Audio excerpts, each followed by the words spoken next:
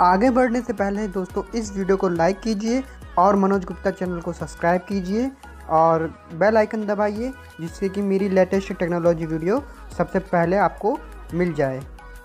अगर आप भी रियलमी का डिवाइस यूज़ करते हैं और आपका डिवाइस भी जो है हैंग करता है काफ़ी टाइम से और आप कोई भी एप्लीकेशन यूज़ करते हैं या फिर कुछ भी चीज़ यूज़ करते हैं तो आपका जो फ़ोन है बहुत ही स्लो काम करता है। तो आज की इस वीडियो के थ्रू कुछ यहाँ पे मैं टिप्स एंड सेटिंग्स बताने वाला हूँ, जिसके थ्रू आप इसको यूज़ करके अपने फ़ोन को पहले कंपेरिजन में यहाँ पे जो इसकी हैंगिंग प्रॉब्लम है उसको कम कर सकते हैं। तो वीडियो को आप कंप्लीट देखिएगा। डिस्क्रिप्शन बॉक्स में टेलीग्राम चैनल का लिंक है तो टेलीग्राम को भी आप ज्वाइन कर लीजिएगा। और इस चैनल पर नए आते हैं तो चैनल को सब्सक्राइब करके बेल आइकन को प्रेस कीजिएगा, जिससे कि फ्यूचर में आने वाली लेटेस्ट वीडियो का नोटिफिकेशन आपको तुरंत प्रोवाइड हो जाए। दोस्तों, हम यहाँ पे फ़ोन परचेज करते हैं और हम सोचते हैं कि हाई कैपेसिटी की रैम की जो है यहाँ पे फ़ोन को परचेज कर लें। बट कभी कभी रैम भी काफ़ी अच्छी खासी होती है, तब भी हमारा डिवाइस जो है हैंग करता है। या फिर रैम कम है, तब तो हैंग करना ज़ाहिर सी बात है बिकॉज़ आपको पता है सारी हमारी एप्लीकेशन जो है हमारे रैम मैनेजमेंट में जाके जो है यहाँ पे उसके प्रोग्राम चलते हैं, ठीक है?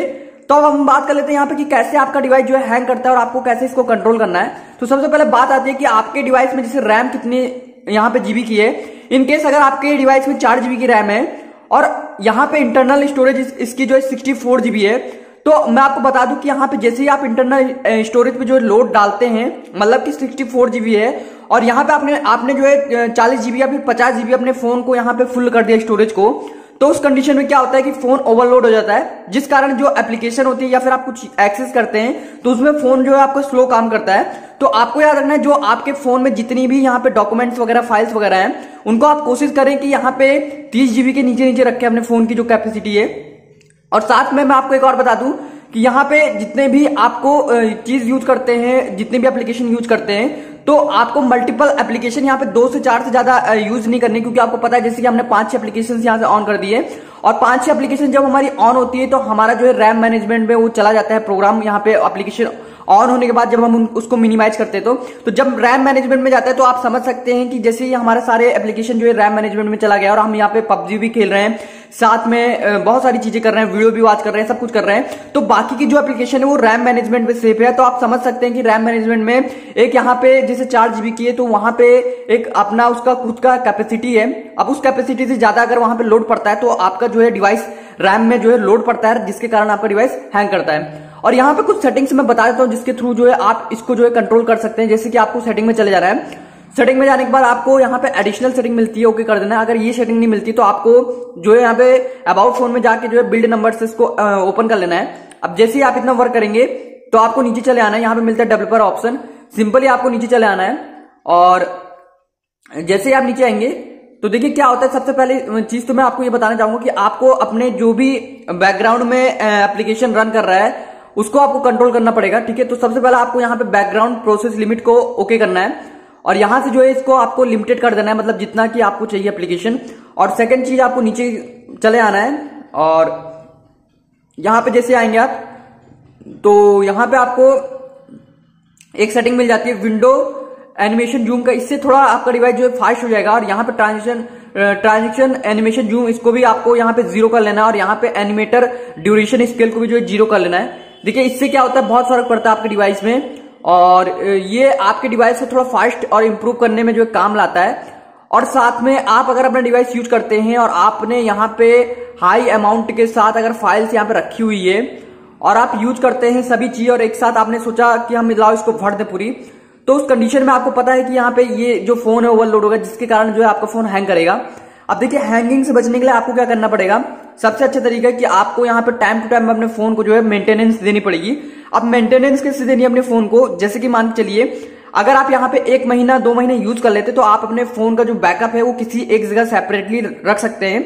जैसे आप अपने फ़ोन का बैकअप एक जगह सेपरेटली रख लेंगे तो आपको नेक्स्ट मंथ या कभी भी अपने फ़ोन को एक बार वाइप डेटा कर लेना है स्विच ऑफ़ करके।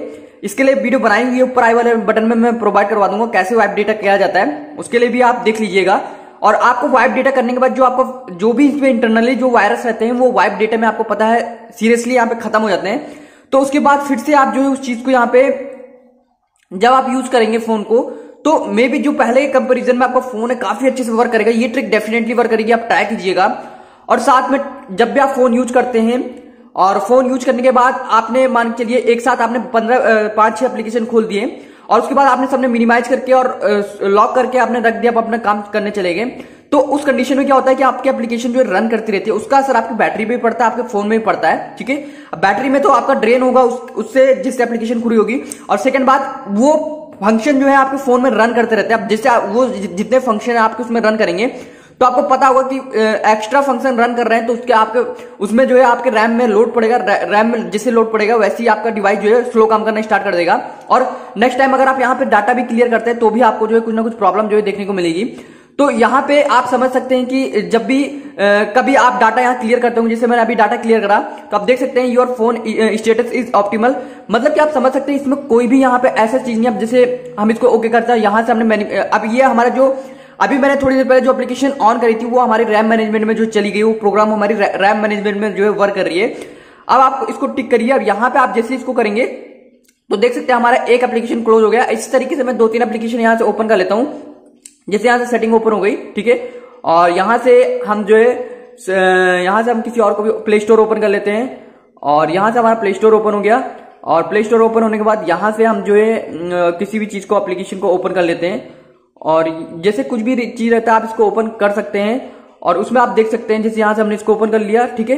अब ये हमारी तीन चीज़ें आप देख सकते हैं, हमारे यहाँ रैम मैनेजमेंट में आ गई है, ठीक है? ये सब हमारा जो प्रोग्राम रैम मैनेजमेंट में चल रहा है तो उसके बाद क्या होगा, जैसे हम इसको क्लियर करेंगे तो यहाँ पे आप देख सकते हैं देख सकते हैं चौवन एमबी रिलीज़ कर दिया मतलब कि चौवन एमबी का जो हमारा पावर था वो कंज्यूम कर रहा था यहाँ पे, जितनी भी एप्लीकेशन चल रही थी। अब समझ के चलिए, अगर आप इसको लॉक करके रखते तो चौवन एमबी कहीं ना कहीं आपके फ़ोन के लिए आगे फ्यूचर में जो है, यहाँ पे हैंगिंग का प्रॉब्लम कर सकते थे। अब ये कंडीशन तब ज़्यादा अप्लाई होती है जब आपका फ़ोन बिल्कुल ओवरलोडेड होता है मतलब कि जैसे चौसठ जीबी है, आपने बिल्कुल पचास जीबी भर दिया, उसके बाद भी आप पबजी वगैरह प्ले कर रहे हैं मिनिमाइज करके सारे फ़ंक्शन यूज़ कर रहे हैं। तो उस समय आपका फ़ोन बहुत स्लो काम करेगा तो आप समझ सकते हैं कि ये हैंगिंग की मोस्ट ऑफ़ प्रॉब्लम हो सकती है आपके डिवाइस के लिए। तो यहाँ पे फ्रेंड्स उम्मीद करता हूँ आपको इस वीडियो के थ्रू इन्फॉर्मेशन जो पसंद आई होगी। और अपने फ़ोन को आपको टाइम टू टाइम रीस्टार्ट करते रहना, हमेशा जो है आपको ये याद रखना है कि अपने फ़ोन को जो है यहाँ पे कैसे करके आपको टाइम टू टाइम जो है रीस्टार्ट करते रहना अपने फ़ोन को, ठीक है? तो इससे भी जो है आपका जो बैटरी प्रॉब्लम है वो और हैंगिंग प्रॉब्लम है वो दूर हो सकता है। तो उम्मीद करता हूँ आपको ये वीडियो पसंद आई होगी। वीडियो को लाइक कीजिए, वीडियो शेयर कीजिएगा। और इस चैनल पर नए आते हैं सब्सक्राइब करके बेल आइकन को प्रेस कीजिएगा। फ्रेंड्स मिलते हैं नेक्स्ट वीडियो में नए टॉपिक के साथ। So friends thank you so much